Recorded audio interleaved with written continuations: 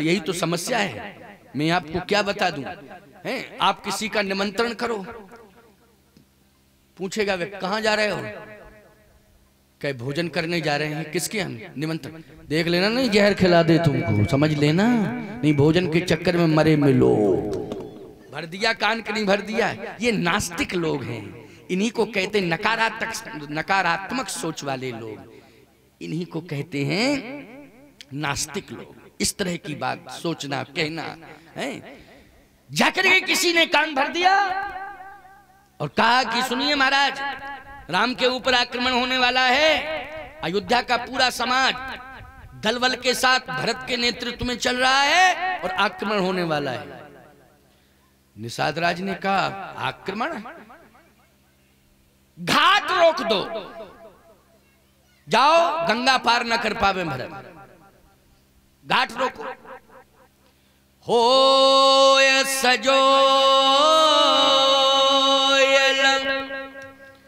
रोकहु घाटा।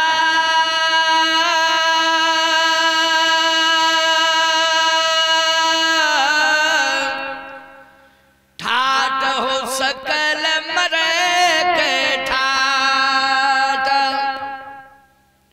निषाद राज ने कहा, सबसे पहले घाट रोको।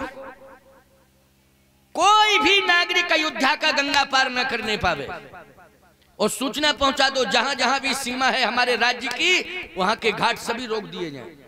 भाई, राज्य की जहाँ जहाँ सीमा है, सारे घाट रोक दिए जाए। ये गंगा पार ही नहीं कर पाएँगे। और पहले मैं युद्ध करूँगा। युद्ध राम जी के पास बाद में जाएँगे, पहले मुझसे युद्ध करना पड़ेगा। अब एक बात बताओ। बहुत बड़ी समस्या आ रही कि नहीं आ रही? अनावश्यक रूप से समस्या पैदा करा दी, लोगों ने कि करा दी। ये कहाँ से पहुँच गया? कान में भर दिया जाकर के, है कि वो सेना लेकर के आ रहे हैं, युद्ध करने जा रहे हैं राम जी से। किसी ने कान भर दिया, अनावश्यक रूप से एक समस्या पैदा कर दी। ऐसी समस्याएँ हर गाँव में पैदा होती हैं। अनावश्यक रूप से लोग समस्याएँ खड़ी कर देते हैं।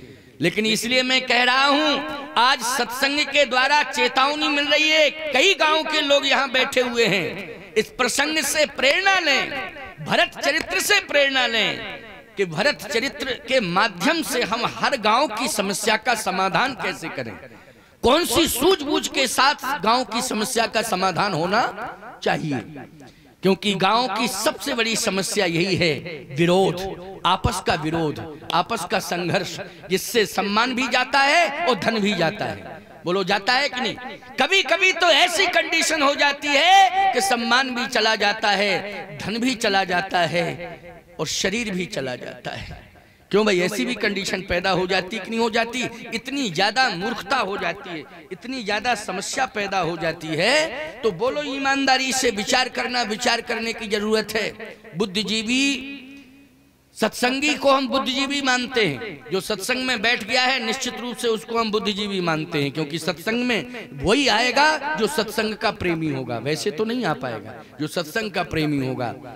जाकर के कह दिया कि घाट रोको, रास्ता बंद कर दो। और सन्मुख लो है भरत सन ले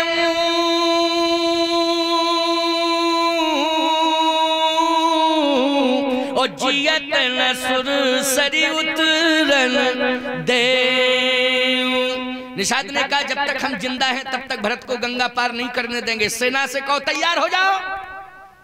सेना तैयार हो गई, राजा आदेश कर रहा है तो सेना तैयार क्यों? नहीं सेना ने अपनी अपनी तलवारें बड़े बड़े अस्त्र शस्त्र सब तैयार कर लिए और सब हाथ में लेकर तैयार हो गए। सावधान, जा रहे थे। श्री राम के चरणों में समर्पण करने के लिए। लेकिन संघर्ष होने वाला है। बोलो, होने वाला है कि नहीं? और बहुत बड़ा संघर्ष, इतना बड़ा संघर्ष है कि एक भी नागरिक अयोध्या का अस्त्र शस्त्र नहीं उठाएगा, न चलाएगा। भले ही सिंगबेरपुर के लोग चलाएँ, बार चाहे जितना हो जाए, लेकिन पलटवार नहीं हो सकता है अयोध्या की तरफ़ से। बोलो भाई। ये सबसे बड़ी चुनौती है कि नहीं? भाई, सुरक्षा तो तब रहती है कि जैसे कोई बार करे तो उस बार को बचाने के लिए पलटवार करना पड़ता है, क्यों करना पड़ता है कि नहीं? लेकिन यहाँ तो ये स्थिति है कि पलटवार होना ही नहीं है। और जब बार ही बार होंगे तो बोले, बहुत बड़ी जनहानि होगी कि नहीं होगी? बड़ी समस्या, लेकिन बाहरे भरत, धन्य क्या कहना? भरत के नेतृत्व में कभी अनहोनी हो ही नहीं सकती। जहाँ संत होगा वहाँ समाज में किसी भी भरत जैसा संत होना चाहिए। भरत की विशेषता क्या है? भरत पयोधि गंभीर, समुद्र की तरह गंभीर हैं। बोलो, है कि नहीं? इसका मतलब है कि संत को गंभीर होना चाहिए। संत को कैसा होना चाहिए? गंभीर होना चाहिए। इसलिए भरत के चरित्र को ज़रूर सुनना चाहिए, खास तौर से साधु संतों को ही सुनना चाहिए। और जो सुन रहे हैं भरत का चरित्र। वो भले ही वेश से संत नहीं है, लेकिन उद्देश्य से संत ज़रूर हो जाएँगे, ये मेरा विश्वास है। क्योंकि ये भरत चरित्र की विशेषता है, भरत की महिमा है। सेना तैयार हो गई। इतने में एक सिंगबेरपुर गंगा के तट पर एक संत रहता था। वृद्ध महात्मा, बिल्कुल जर्जर शरीर था उसका। गंगा के किनारे तपस्या। भाई गंगा का तट जहाँ जहाँ है, वहाँ साधु मिल जाते हैं कि नहीं मिल जाते हैं, बोलो। गंगा का तट जहाँ जहाँ है, वहाँ साधु ज़रूर मिलते हैं। गाँव में किसी गाँव से गंगा निकली है तो उन गाँव के किनारे भी संतों ने आश्रम बना रखे हैं। मैंने नर्मदा जी के तटों पर जाकर के देखा है कि जिस जहाँ जहाँ से नर्मदा जी निकली हैं, वहाँ वहाँ संतों ने अपने आश्रम बना रखे हैं। सिंहबेरपुर में भी एक वृद्ध साधु रहता था। उसके कान में आवाज़ पहुँची कि इसी घाट पर संघर्ष होने वाला है। और सूचना आकर के दी गई कि घाट खाली करो। घाट खाली करो। जब युद्ध की घोषणा होती है तो गाँव के गाँव खाली कराए जाते हैं कि नहीं कराए जाते हैं? युद्ध की घोषणा जब होती तो गाँव के गाँव गाँव खाली करो खाली करो खाली करो। जो सीमा के आसपास के गाँव हैं, वहाँ जब युद्ध की स्थिति आती तो खाली करा दी जाती। ऐसे वहाँ से आवाज़ आई, घाट खाली करो, घाट। तो संत निकल आए, भजन कर रहे थे। क्या बात है भैया, घाट खाली क्यों हो रहा है? बोले, तुम्हें पता नहीं है, युद्ध होने वाला है। युद्ध? किससे युद्ध होने वाला है? पाकिस्तान से। अरे बोले, अयोध्या से। अयोध्या से कहीं युद्ध होता है कैसे हो तुम मूर्ख हो क्या? जानते, अयोध्या से युद्ध होता है? अयोध्या तो अयोध्या है। युद्ध? तुम्हें पता नहीं है? अयोध्या के लोग राम पर आक्रमण करने जा रहे हैं। राजा का आदेश हुआ है कि सबसे पहले युद्ध सिंहवेरपुर के राजा से होगा, तब कहीं राम के पास पहुँचेंगे भरत। और भरत की सेना, भरत के अयोध्या के नागरिक, उस बूढ़े ने कहा कि नहीं नहीं। सोच गलत है। सोच गलत है। दृष्टि तो है, दिखाई दे रहा है, सेना आ रही है, लेकिन दृष्टिकोण अच्छा नहीं है। भाई, दृष्टि से तो देख रहा है कि सेना, तुम्हें लग रहा सेना आ रही है, लेकिन ये सेना नहीं आ रही है। मैं भी यहाँ से देख रहा हूँ, ये जितने भी लोग आ रहे हैं, ये राम से युद्ध करने नहीं आ रहे हैं, बल्कि श्री राम के चरणार बिंदों में समर्पण करने के लिए आ रहे हैं, ये मेरा दृष्टिकोण है। तो वो कहता है, राजा साहब को समझाओ, हमारा दिमाग खराब मत करो। ये तो राजा की योजना है अरे, हमसे कहने से क्या फ़ायदा? महात्मा की बात हो रही। किससे? जो जो कह रहा, घाट खाली कराओ, घाट खाली करो। युद्ध होने वाला है। तो वो कहता है कि हमसे मत समझाओ। ये तो राजा साहब को जाके समझाओ। राजा साहब मान जाए तो मान जाए। हमसे कहने से कौन फ़ायदा है? हमें तो आदेश मिला है कि घाट खाली कराओ। इसलिए कहता हूँ, बाबा, झोपड़ी हटाओ। हटाओ झोपड़ी। हटो यहाँ से। उसने कहा, नहीं नहीं। मैं राजा को भी समझाऊँगा। वो बूढ़ा हाथ में लाठी लिए है, माला झोरी गले में पड़ी हुई है, सुंदर तिलक लगा हुआ है, राम राम राम राम राम राम कहते हुए पहुँच गया।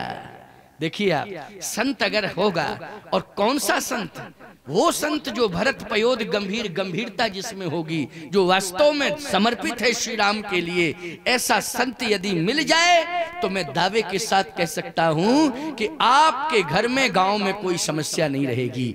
लेकिन मैं एक और समाधान दे रहा हूँ। आप कहोगे, महाराज, ऐसे संत बहुत नहीं है, थोड़े से हैं। तो थोड़े हैं तो वो अंधौरा में काहे को आएँगे, वो तो हरिद्वार में रहेंगे। या चित्रकूट में रहेंगे, या वृंदावन में अंधौरा में आके रहेंगे। मैं एक बात कहता हूँ, सावधानी से सुन लेना। ये चरित्र में किसके माध्यम से सुना रहा हूँ? रामचरित मानस के माध्यम से। ये प्रसंग जो सारी चर्चाएँ हो रही हैं, ये मैं संत हूँ, लेकिन माध्यम किसको बनाए हूँ? रामचरित मानस को। इसलिए मैं कहता हूँ, कोई आवश्यकता नहीं है। कि कोई सिद्ध संत समय समय पर आते रहेंगे, आशीर्वाद देते रहेंगे, लेकिन हमेशा कोई सिद्ध आपके बीच में रहे तो केवल एक ही सिद्ध होगा अंधौरा का, जो सिद्धेश्वर नाथ विराजमान है सिद्ध बाबा। वो हमेशा रहेंगे, लेकिन घर घर में एक गंभीर संत की वाणी आपके घर में हो जाए। तो वो संत गंभीर संत की वाणी अगर आपको मिलेगी और समाधान घर घर का होगा तो वो रामचरित मानस जब घर घर में होगा तो गंभीर वाणी आपको सुनने को मिलेगी। आप रामायण रोज पढ़ लिया करो, दो दोहा, पाँच दोहा। समाधान मिल जाएगा, बोलो, मिल जाएगा कि नहीं मिल जाएगा? ये संभव है कि नहीं? ये संत की गंभीर वाणी, ये रामायण घर घर में संभव है कि नहीं? हो सकती कि नहीं ये रामायण की नहीं? सबके पास हो सकती कि नहीं? और समाधान इसमें है तो मैंने दे ही दिया है आपको समाधान। इसको पढ़ा करो। कोई समस्या नहीं रहेगी। समस्या आएगी, समस्या दूर हो जाएगी। ये मानस समुद्र से भी ज़्यादा गंभीर है। बोलो भाई, है कि नहीं? बस अंतर इतना है कि समुद्र में गहराई है और उस गहराई में जब डूबोगे, आप जाओगे तो वहाँ मोती मिल जाएँगे, सीप मिल जाएँगी। क्या मिल जाएँगी? शंख और सीप मिल जाएँगे। समुद्र में जब गहराई में जाओगे तो क्या मिलेंगे? शंख और सीप मिल जाएँगे। लेकिन सत्य कह रहा हूँ, रामचरित मानस की गहराई में जब डूब जाओगे तो भाव के मोती आपको मिल जाएँगे। वही भाव के मोती आपको हंस नहीं परम हंस बना देंगे। ये मैं दावे के साथ कह रहा हूँ। इसलिए आज एक संत पहुँच गया, बोले, मैं राजा से बात करूँगा। जैसे ही वो बूढ़ा महात्मा पहुँचा तो कहा, राजा साहब, मेरी बात सुनो। राम राम राम राम कहता हुआ पहुँचा तो राम भक्त था निषाद। बोलो, निषाद क्या थे? राम भक्त थे तो राम राम राम राम कहते हुए जैसे पहुँचा, वो बूढ़ा। तो राम भक्त जो होगा, वो राम राम कहने वाले से प्रभावित हो जाएगा तो तुरंत निषाद ने कहा, आइए महात्मा, क्या बात है? बात यह है कि मेरी बात सुनोगे? जल्दी सुनाओ, मुझे फुर्सत नहीं, क्योंकि युद्ध करने जाना है। तैयारी लग चुकी है। जल्दी सुनाओ जो सुनाना हो। सुनूँगा ज़रूर बस यही तो बात है, यही तो अंतर है। लंका का राजा रावण किसी बूढ़े की बात नहीं सुनता है, संत की बात नहीं सुनता है। समझ रहे हो कि नहीं? लेकिन श्रृंगवेरपुर का राजा राम से जुड़ा हुआ है। इसलिए वो बूढ़े की भी बात सुनता है, वो संतों की भी बात सुनता है और वो ग्रंथों की बात भी समझता है। जो राम से जुड़ा हुआ होता है। लेकिन लंका का, लंका वाला कहाँ सुनता है? एक बूढ़े ने कहा तो था, मालवंत ने। मालवंत ने यही कहा था कि मैं चाहता हूँ कि जिनको तुमने हर मांस की नारी समझ रखा है, भगवती सीता को, वो आदि शक्ति पराम्बा हैं, उनको लौटा दो, प्रभु श्री राम क्षमा कर देंगे। लौटा दो, क्षमा कर देंगे। तो कहता क्या है? बूढ़ भय उन्नत मरते तो ही। अब जन नयन दिखावस मोही निकल ज़्यादा बूढ़ा हो गया नहीं, इतना पीटता कि बुद्धि ठिकाने आ जाती। वो तो ज़्यादा बूढ़ा है। निकल। अब जन नयन दिखावस मोही। मालवंती अति सचिव सयाना। रावण ना तो बूढ़े की बात सुनना अच्छा संत की भी नहीं सुनना चाहता है। अभी आपने कथाओं में सुना होगा, हनुमान जी जैसा संत समझा रहा था, बिनती करो ज़ोर कर रावण सुनो मान तज मोर सिखावन। सुनो मान तज मोर सिखावन विनती करो। मैं प्रार्थना कर रहा हूँ, मेरी बात सुनो। तो रावण कहता है अच्छा हमें सुना रहा है, हमें बता रहा है। अच्छा क्या सुनाना है? सुना, कह, रामचरण पंकज धरऊ आँखें लाल हो गई। अच्छा गुरु ज्ञानी मिल गया हमें, मृत्यु निकट आई कल तो ही, तेरी मौत तेरे निकट आ गई है। अब तू मरने वाला है। अब बताओ, संत से कह रहा, मरने वाला है और बूढ़े से कह रहा है कि मारा ही देता जान से, अगर ज़्यादा बूढ़ा ना होता। क्योंकि तू बहुत मरने वाला है थोड़ा सा आगे बढ़ेगा, तुझे तो मरना ही मरना है। तो मालवंत से कह रहा है कि तुझे बूढ़ भय उन्नत मरते हो तो हनुमान जी से कह रहा मृत्यु निकट आई, खल तो अब कल्पना करो आप रावण ना तो संत की सुनना चाहता है, ना रावण बूढ़े की सुनना चाहता है। लेकिन श्रृंगबेरपुर का राजा निषाद तो राम भक्त है, इसलिए संत की भी सुनना चाहता है और वृद्ध की भी सुनना चाहता है। कहता है, सुनाओ सुनाओ। इसलिए मैं कहता हूँ, जब कभी कोई समस्या आ जाए और कोई बूढ़ा यदि कह दे कि रुको रुको, हमारी सुनो तो रुक जाओ और सुन लो।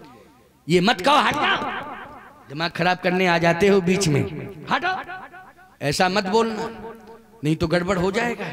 सुन लो हाँ क्या क्या रहा, सुनने में क्या हर अच्छा एक बात बताओ, सुनने में परेशानी क्या है? जरा सुन तो लो, क्या कह रहा है? उस निषाद ने उसी समय कहा हाँ हाँ जल्दी बोलो, क्या बात है? क्या बात है? सुनेंगे ज़रूर। बात यह है, कहा जा रहे हो? क्या युद्ध करने? किससे युद्ध करने जा रहे हो? भरत से। क्यों? बोले, राम पर आक्रमण करने जा रहे हैं भरत। किसने कहा है? बोले, मुझे सूचना मिली है। कहा हमारी भी बात सुन लो। क्या? बूढ़े एक कह सगुन बिचारी भरत मिलिए न हुई है रारी। मेरा अनुभव मैंने गंगा के किनारे बहुत वर्षों तक भजन किया है। भजन करते करते आज मेरा शरीर बूढ़ा हो गया है। केवल मैंने राम का भजन किया है, शरीर मेरा बूढ़ा हो गया है। मैंने राम के भजन के प्रताप से अनुभव लिया है। क्या लिया है? अनुभव। तुम राम भक्त हो, राम सखा हो, राम के चरणों में तुम्हारा समर्पण है। मैंने गंगा के किनारे तुम्हारे राज्य की सीमा में राम राम राम राम कहते हुए राम का अनुभव प्राप्त कर लिया है। मैं अनुभव बता रहा हूँ। क्या अनुभव? राम ने ही मुझे भेजा है। देखो कितनी अच्छी बात कही राम ने ही मुझे भेजा है। जैसे मैंने आपसे कहा नहीं कामता नाथ ने ही मुझे भेजा है। अभी अभी मैंने कहा था कि नहीं कहा था? बात आ गई कि नहीं आ गई? कि किसने भेजा है? कामता नाथ ने भेजा है मुझे। जो भी संदेश सुना रहा हूँ मैं कामता नाथ भगवान का ही सुना रहा हूँ। वो जो कहलवा रहे हैं वही मैं कह रहा हूँ। राम ने ही मुझे भेजा है। अच्छा भेजा है राम ने हाँ। क्या कहा है? का यही कहा है। क्या? बूढ़े कही, सगुन विचारी भरत ही मिलिए लहुई है रारी और राम ने यही कह के भेजा है कि राम ही भरत मनावन जाही। राम ही भरत मनावन जाही। राम रूठे हुए राम को भरत मनाने जा रहे हैं और राम का भजन मुझसे कह रहा है कि राम स्वयं कह रहे हैं कि आज भरत मुझे मनाने के लिए आ रहा है। युद्ध करने नहीं जा रहे हैं, राम को मनाने के लिए जा रहे हैं। निषाद राज ने सेना से कहा, रुक जाओ। रुको रुको। सब रुक गए? बोलो भाई। कितना बड़ा संघर्ष होने वाला था। और संघर्ष टलता जा रहा है कि नहीं टलता जा रहा है? भरत का चरित्र तुम्हें प्रेरणा क्या दे रहा है? यही प्रेरणा दे रहा है भरत का चरित्र। आज आप भरत चरित्र सुन रहे हैं। उसी से आपको यह शिक्षा मिल रही है कि कभी भी कोई संघर्ष की योजना बन रही हो। अगर कोई बूढ़ा आकर के उस संघर्ष की योजना बन रही है, उसको टालने की कोशिश कर रहा है, तुम्हें समझा रहा है तो उसकी सुनो ज़रूर। तुम्हारे पास बुद्धि विवेक है, विचार कर लो, ये हम नहीं कहते हैं, लेकिन सुनो तो और सुनने के बाद विचार करो, तब विचार के बाद फिर उसका विस्तार करो। इतना ज़रूर करना चाहिए। अगर इतना विचार करने का टाइम तुम ले लोगे तो शायद संघर्ष का विस्तार रुक सकता है प्यारे। ये मेरा विश्वास कह रहा है। संघर्ष फिर आगे बढ़ नहीं सकता है। और विचार नहीं करते हो जल्दबाजी में निर्णय ले लेते हो फिर बाद में कहते हो यार गुस्सा में हो गया। गुस्सा में हो गया। अरे गुस्सा में हो गया सारा का सारा चौपट तो हो गया। बोलो भाई तुम्हारी गुस्सा किस काम की है? चौपट हो गया पूरा, किसी काम की गुस्सा नहीं रही। बोलो, गुस्सा किसी काम की रही क्या? मैं आपसे ये कह रहा हूँ कि घी की मटकी में अगर मक्खी गिर जाए तो विकल्प है कि मक्खी निकाल के फेंक दो। है, लेकिन मटकी पटक दो। पूरी गुस्सा। क्या करें? गुस्सा आ गई, मक्खी क्यों गिरी? इसलिए मैंने मटकी पटक तो बेवकूफ़ होगी नहीं? क्यों भाई? तुम्हें अरे गुस्सा आई थी तो मक्खी निकाल के फेंक देते, क्यों भाई? भाई, गुस्सा आई थी, मक्खी क्यों गिरी? गुस्सा आई, मक्खी क्यों गिरी? तो मक्खी निकाल के फेंक दो। लेकिन मटक यही फोड़ दी तुमने पूरी। अब घी किसी काम का नहीं रहा, बोलो, किसी काम का अब बाद में पछता रहे हो। अरे, बड़ा महँगा आइटम था यार, अब तो सब बेकार हो गया। अब क्या किया जाए? नहीं, ऐसा नहीं करना है। गुस्सा आ रही है, मक्खी गिर गई, मक्खी को निकाल के फेंक दो। समझ गए हो कि नहीं? मटकी फोड़ने की ज़रूरत नहीं है। समझ रहे हो कि नहीं बात को? ये भरत चरित्र आपको प्रेरणा दे रहा है। और संत चरित्र भी जुड़ा हुआ है। भरत चरित्र के साथ क्या जुड़ा है? संत चरित्र जुड़ा हुआ है। इसलिए आपको ये संत चरित्र प्रेरणा दे रहा है। उसी समय उस संत ने कहा, राम ही भरत मनावन जाही। राम जी को मनाने जा रहे हैं रूठे राम को। निषाद ने कहा कि अब मुझे विचार करना पड़ेगा। तो बोले, कर लो विचार। देखो अब टाइम मिल गया है। संघर्ष रुक गया अब विचार करने का समय मिल गया कि नहीं? अब मुझे विचार करना पड़ेगा। इसलिए कहता हूँ कि विचार करो। क्या करो? विचार करो। किसी भी कार्य को करना है तो विचार पहले करो इसके बाद कार्य करो। बिना विचारे जो करें सो पाछे पछताएँ काम बिगाड़े आपनो जग में हो हसाए जग में हो हसाए चित्त में चैन ना आवे। बोलो भाई, परेशानी परेशानी। उलझन ही उलझन है। इसलिए बिना विचारे विचार पूर्वक कार्य करना, बिना विचारे काम नहीं करना चाहिए, हैं? एक बार एक घर के लोगों में ऐसी स्थिति पैदा हो गई कि हम क्या बतावें पूरा काम ही बिगड़ गया, बिना विचार के काम किया। क्या?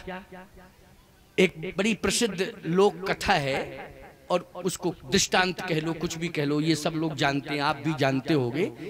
पंद्रह अगस्त का टाइम था। पंद्रह अगस्त को झंडारोहण होता है कि नहीं होता है? क्यों भाई? स्वतंत्रता दिवस मनाया जाता है पंद्रह अगस्त को, झंडारोहण होता है। तो उस घर में, पूरे घर में सब बेवकूफ़ थे, एक ही मास्टर था केवल। वही घर का मालिक था जो मास्टर मास्टर को हम कैसे मास्टर को तो हम मास्टर मानी मास्टर, है? शिक्षा से जो जुड़ा हो, उसको तो हम ज्ञानी ना कहेंगे, क्यों भाई? बाकी सब बेवकूफ़ थे। और सबसे बड़ी बेवकूफ़ी यही थी कि उस मास्टर ने अपने घर के लोगों को ही होशियार नहीं बना पाया। पता नहीं क्या करता रहा। चलो, समस्या बढ़ी। क्या बढ़ी? पंद्रह अगस्त था। उसने अपनी पत्नी से कहा कि सुनो नए नए कपड़े बनाए, बनवाए हैं, जरा लेके आओ। नए नए कपड़े बनवाए हैं, जरा लेके आओ। तो कुर्ता और पजामा बनवाया था। तो कहा लाओ पहले पहन के तो थोड़ा देख लें, तब ना पंद्रह अगस्त में झंडा रोहण करेंगे। तो पजामा पहना, कुर्ता पहना, पजामा भी बड़ा और कुर्ता भी बड़ा। दो बढ़े। कैसा टेलर था मूर्ख? तो पत्नी बोली, कोई दिक्कत की बात नहीं है। हम लोगों के घर में थोड़ी सी व्यवस्था है। ज़्यादा से ज़्यादा दो ही तीन इंची तो बढ़ा है, उसको हम ठीक कर देंगे। हैं? तो पत्नी ने जाकर के दो इंची कुर्ता काट दिया और दो इंची पजामा काट दिया। और रख दिया। अब उस मास्टर ने कहा कि पत्नी कम बुद्धि की है, बहू से कह दे तो कहा, बहू, ये कुर्ता पजामा थोड़ा बढ़ गया है, इसको थोड़ा दो दो इंची अलग कहाओ। ठीक है पापा जी? तो बहू ने भी नहीं देखा तो उसको भी देखना चाहिए था कि क्या पत्नी ने तो काट ही दिया, बहू ने भी दो दो इंची काट दिया। अब क्या बतावे, उसको चैन नहीं मिला तो अपनी बेटी से जाके बोला, बेटी, ऐसा है, बहू काम में ज़्यादा व्यस्त रहती है, सुबह जल्दी निकलना है दो तीन इंची पजामा बढ़ा है और कुर्ता भी बढ़ा है इसको भी छाट देना तो बेटी ने भी वही काम किया। अब सुबह जब स्नान करके कुर्ता पजामा पहनने लगा तो अंडर भी वो बनियान बन गया। क्यों भाई? ना वो कुर्ता रहा, ना वो पजामा रहा, क्या बन गया? अंडरवियर और बनियान बन गया। ईमान बिना विचारे जो करें सो पाछे पछताए। विचार पूर्वक कार्य करना चाहिए। विचार करो पहले। ठीक से विचार करो। ज़्यादा जल्दबाजी करने की ज़रूरत नहीं है। निषाद राज ने कहा, अब मैं विचार करूँगा। तो जैसे ही विचार किया तो महात्मा ने कहा, अब तुमने निर्णय क्या लिया विचार में? क्या निर्णय लिया? निषाद राज ने कहा कि मैंने यही निर्णय लिया है कि मैं राजा हूँ। राजा के पास चार नीतियाँ होती हैं, साम, दाम, दंड, भेद। मैं नीतियों से काम करूँगा। क्या कौन सी नीति, कैसी नीति? का साम, दाम, दंड, भेद। इसका मतलब है कि मैं पहले परीक्षा लूँगा। भरत की भी परीक्षा लूँगा, अयोध्या वासियों की भी परीक्षा लूँगा। और परीक्षा में अगर उत्तीर्ण हो गए भरत, अयोध्या वासी, तब तो हम युद्ध नहीं करेंगे। और यदि परीक्षा में फेल हो गए हमें संदेह हुआ तो हम मानेंगे नहीं किसी की बात युद्ध करेंगे। उस महात्मा ने कहा विचार कर लो। अच्छा फिर कहा क्या विचार किया का विचार कर लिया। क्या? विचार किया? बस विचार यही किया कि युद्ध बाद में करूँगा पहले भरत से मिलूँगा। पहले होना चाहिए संवाद। और अगर संवाद नहीं हो पा रहा और संवाद से समस्या का समाधान नहीं हो रहा है तो विवाद फिर पहले कर, पहले विवाद नहीं, आजकल उल्टा हो रहा है। पहले लोग करते हैं विवाद, फिर कहते समझौता कर लो। कितनी बड़ी गलती है, क्यों भाई? ये गाँव गाँव की समस्या है, हर गाँव की ये समस्या है कि पहले करते हैं विवाद, फिर कहते समझौता करा दो हमारा। फालतू की बात क्यों कर रहे हैं? अरे, पहले ही समझौते की बात सोचो, विवाद बाद में, कि अगर नहीं मानोगे तो फिर विवाद हो जाएगा। पहले बातचीत कर लो बैठ के। क्यों भाई? तो यही होना चाहिए कि नहीं होना? रामचरित मानस आपको यही सिखाता है। मैं लंका की बात नहीं कर रहा हूँ, मैं श्रृंगबेरपुर की बात कर रहा हूँ। मैं समुद्र के किनारे के नगर की बात नहीं कर रहा हूँ, मैं मोक्षदायिनी गंगा के किनारे बसे हुए श्रृंगबेरपुर की बात कर रहा हूँ, प्यारे। इसलिए मैं कहता हूँ कि आज आपको गंगा की तरह पवित्र बनना आपके गाँव में भले ही भागीरथी गंगा नहीं आ पाएँगी, लेकिन राम कथा रूपी गंगा तो आपके गाँव में आ ही चुकी है, प्यारे। आपका अंधौरा भी गंगा के तट पर बस गया है। बोलो, बस गया नहीं, बस गया। राम कथा जही सुरसरी धारा सरसय ब्रह्म विचार, प्रचारा। तो आज राम कथा रूपी गंगा के किनारे अंधौरा आ गया है। सुनिए जरा, समझने की कोशिश करिए। बहुत महत्वपूर्ण बात मैं आपको बता रहा हूँ। आप सब केवल निषाद राज ही राम भक्त नहीं है। आप सब जितने बैठे हो सब राम भक्त हो। बोलो, हो कि नहीं? अरे वो सिंगेरपुर का राजा था। आज स्वतंत्र भारत में सब घर घर के राजा हैं अपने अपने घर के सब राजा हैं। बोलो, हैं कि नहीं? अपने अपने घर के सब राजा हैं। लेकिन तुम राजा हो, तुम अपना घर राम कथा रूपी गंगा के किनारे बसाओ।